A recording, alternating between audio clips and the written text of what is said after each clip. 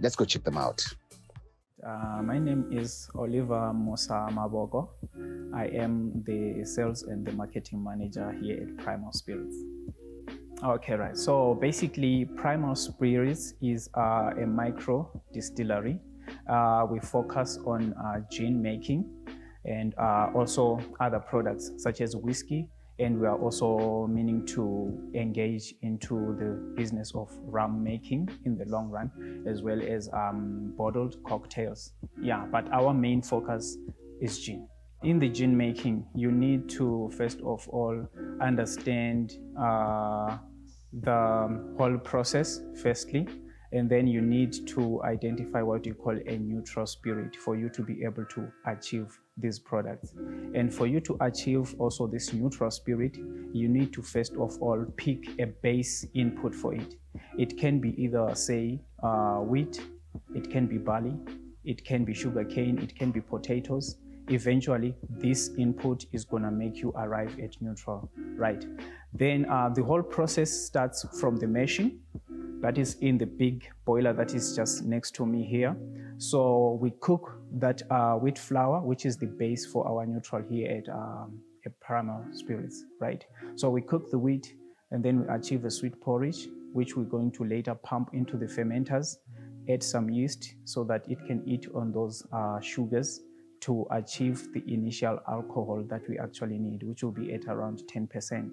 Then from there, we move on to the next stage, which marks the first stage of distillation, which we call the stripping run, where we get to separate alcohol from the rest of the mixture, that is the water and the cooked wheat. Okay, so we get um, an average of, uh, say, 35% afterwards. Then we go to the next stage of distillation, which we call a spirit run. Now we are in pursuit of the neutral spirit. So at this point, that is the most crucial uh, stage of distillation because there are two key things that happen uh, at this juncture. There is uh, the further strengthening of that spirit and also the purification of the spirit. Because remember, it's meant for human consumption. So we need to get rid of all the impurities that are within that uh, spirit so that it's actually safe for human consumption. Eventually, when the process is done, it's going to give us um, an average of 96% alcohol which is the neutral spirit now. So in the meantime, where you can actually get us is on uh, Instagram. That is where we are most uh, efficient in terms of social media marketing. And then Facebook, still the same, Primal Spirits Distillery.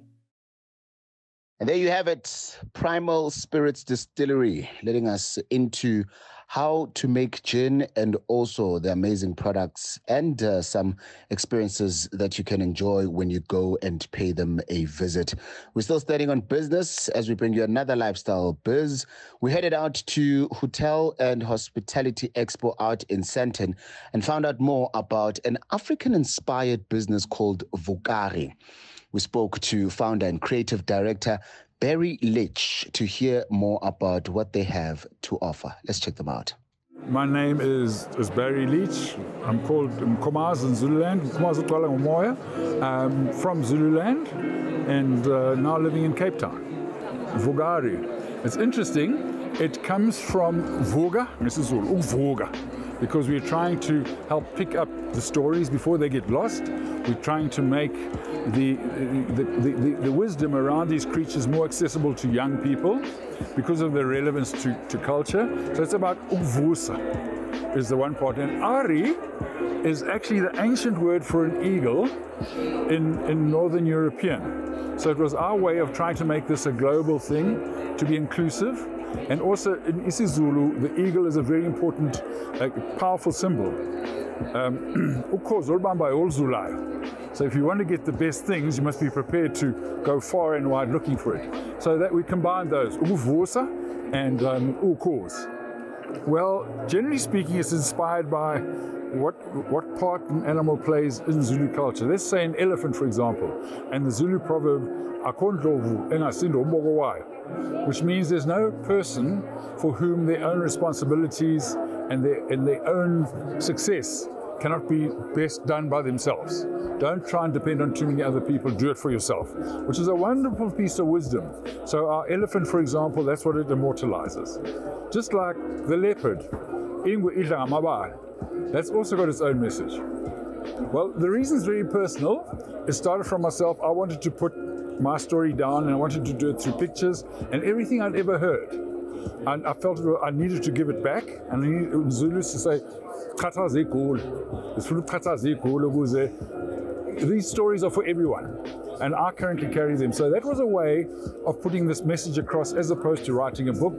I find writing books and everything quite boring. So this is a lively way of actually put, putting it across in a very passionate way.